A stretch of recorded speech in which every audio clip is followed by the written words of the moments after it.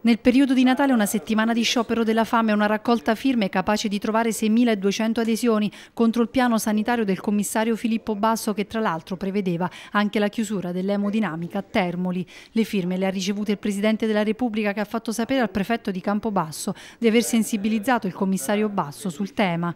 Particolari rivelati da Liberato Di Felice, Presidente dell'Associazione Cuore Molisano, che ha anche spiegato come tutto sia stato inutile visto che poi il piano è stato approvato nel periodo di vacazio istituzionale, denunciando anche che l'ospedale San Timoteo ha nemici al suo stesso interno. Il piano prevede 144 posti letto al San Timoteo e 30 al Vietri di Larino, con un'utenza da soddisfare di 150.000 persone. Di Felice ha evidenziato come solo nel territorio intorno a Campobasso, tra il Cardarelli e le tre strutture private presenti, si arrivi a 611 posti letto, compresi quelli per la riabilitazione. Uno squilibrio assurdo è stato definito, con un accanimento verso il territorio del Basso Molise. Per questo l'associazione l'associazione ora si è rivolta a un avvocato, il consigliere comunale Annibale Ciarniello, che ha presentato una querela per verificare l'intera procedura, compresa la nomina di Basso. Un tecnico che non conosce il territorio, è stato detto, è chiamato a ridurre al minimo i servizi. Dalla lettura del piano sanitario abbiamo trovato una serie di incongruenze e vogliamo diciamo, che eh, la magistratura inquirente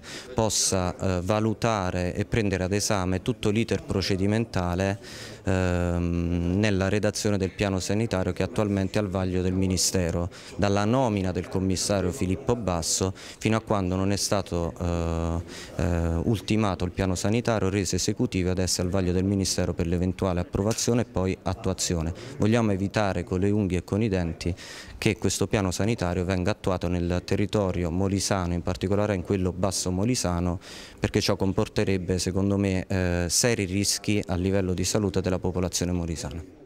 Critiche anche alla recente nomina del nuovo manager Carmine Ruta che sostituirà Angelo Percopo, il cui contratto scade a giugno del 2014. Per un anno dunque l'Asrem pagherà due stipendi, è stato ribadito, con un ulteriore aggravio sulle tasche dei cittadini.